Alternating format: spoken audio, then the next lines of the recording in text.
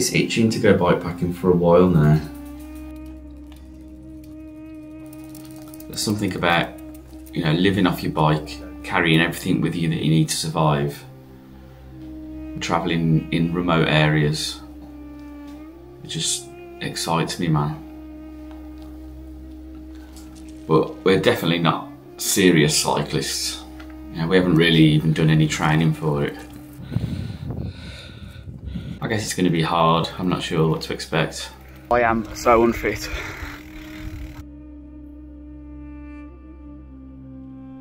There's only one cure for itching. So that's my oldest mate Bean, and I'm Dan. Got three days riding ahead of us. Uh, starting off in a small town on the English-Welsh border called Knighton. Oh man, it was like a ghost town. We were literally the only ones there. Let's do it then.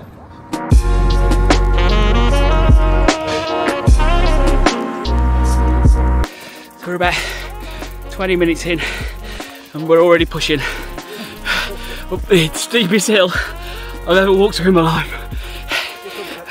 And this is still tarmac as well.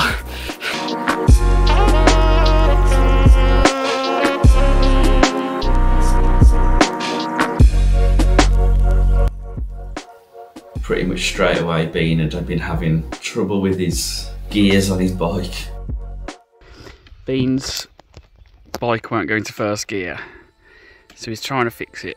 But this is the uh, this is the funny part. He doesn't have a clue what he's doing.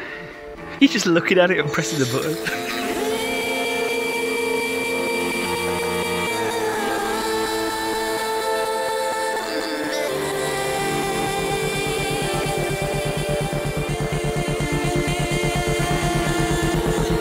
Seven fifteen in the evening. We're about three miles from Rhayader, I think it is, or something like that. I don't know how you pronounce it. That's our stopping point for tonight. Looking forward to a pint and a, and a steak meal, I think. 75 miles to go. Fuck. It's looking good.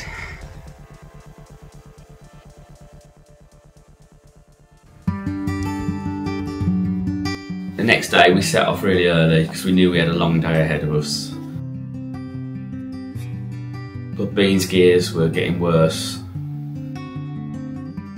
By pure luck, just as we were leaving the town, we rode past a little bicycle shop where the owner Neil said he'd look at Bean's bike for us. Thanks Neil, appreciate it.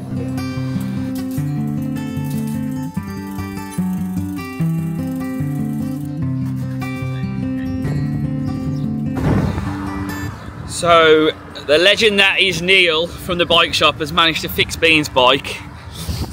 Um, he's got gears now, which is good, but it's, it's really ate into our time. We lost like two hours there. It's almost 11 o'clock now. So I think we're definitely going to be wild camping in the valley tonight. We're just about to hit Elan Valley Trail, which is meant to be very scenic, very remote. Lots of lakes, I think any left up here? No, not this one. And uh, and once we're in there, we're not going to see many people.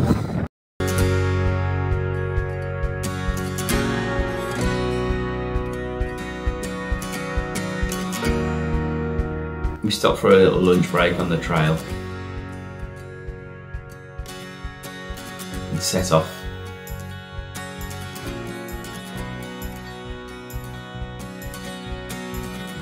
Um, do you want to go first? Go on. Okay.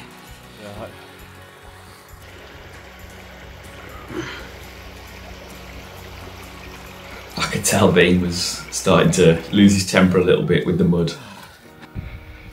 It doesn't help that I was there shoving a camera in his face every five minutes.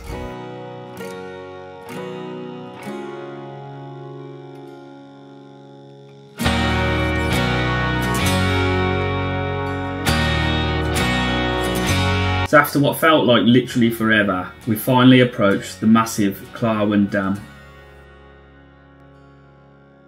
For the next section, we had hours and hours of fairly easy riding, but we were pretty far away from any kind of civilization, and as the evening drew closer, we were starting to realise we were running out of water and supplies. It's getting quite late now. Every mile is fucking hard work, man. We're both aching. And it looks like we're gonna have to try and hunker down in in the valley somewhere because there's still can't see any sign of life. Seems no signal on our phones. It feels like we're miles away from anything. So it's like it's porridge for tea tonight. Then, just as we were considering to pitch up our tents in the valley, our phones started beeping like crazy. It was the first time we'd had phone signal in about seven hours, and to top it off, we were only three miles away from a campsite. I honestly don't know where we got the energy from, but that was the fastest we'd cycled all day. Oh yes.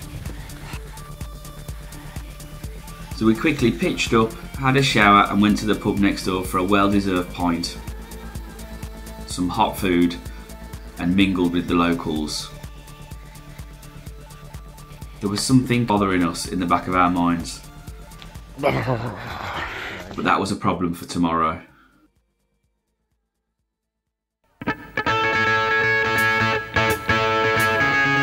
Right, so here's the issue. We're not even halfway through our planned route and our train's booked home tomorrow morning. We need to somehow change course to get to the line our train will be on so we can get back to our van in Shrewsbury. Luckily, a fellow bikepacker overheard us talking and came to our rescue. My mum lives not far from Knighton. Yeah. And I and I've been bikepacking for a few years. Nice, yeah. this is our this is our first one, so. I, just, I, know, Yeah. so I didn't know what you're doing. So this trail goes on the old railway line, basically. Oh, okay, cool. And so this is an absolutely beautiful, all laid out, Yeah. straight as straight as a die. Yeah. And then, um, and it's well signed actually that end, and you end up coming around the harbour into Aber. Oh, that's perfect. That way perfect. That's perfect. yes, beauty. So she mentioned of an old rail track that was now part of the national cycling route and led us straight into Aberystwyth. It was as if the planets had aligned for three reasons. Firstly, our original train started its journey from Aberystwyth, so we could just jump on board earlier down the line. Second, it took us right to the coast, meaning we would have cycled the whole length of Wales east to west, giving the trip some kind of purpose. And lastly, it was a fairly easy route, and our fat old dad bods were taking a right beating from the last few days of riding. What you gonna do, Katie? You're a sweet, sweet girl But it's a cruel, cruel world cruel, cruel world But things are none too strong We took a wrong turn and somehow ended up in the Amazon. I can feel it coming down And it won't take none too long But since you said goodbye The polka dots fill my eyes And I don't know why Now we've made it onto the old rail track. We were expecting literally to be riding on like an old railway, but it's all been tarmacked or gravel packed or something. But this is uh, pretty straightforward now into Aberystwyth, not far off the end. Till Angola, till Angola. It's absolutely beautiful today. We've got nice easy trails. Just on the national cycle route.